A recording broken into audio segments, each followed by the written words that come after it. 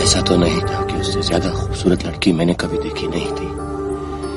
पर पता नहीं क्यों, उसके चेहरे से मेरी नज़र हटती नहीं थी। उसकी आँखें झुकी हुई थी और उसकी साँसें तेज, बहुत डरी हुई थी वो। उसका एक बाल उसकी दाई आँख को परेशान कर रहा था। वो उसे झटकने की कोशिश कर रही थी, पर हवा तेज थी और बाल वहीं का वहीं मैंने उसके बाल हटाने के लिए उससे अपना हाथ हटाया और उसने घबराकर मेरी तरफ़ देखा। हम दोनों ने पहली बार एक एक दूसरे को देखा। वो मुझे डर के मारे घूरती रही। फिर उसने आहिस्ता अपनी नज़रें झुकाई, पर मैं उसे घूरता रहा।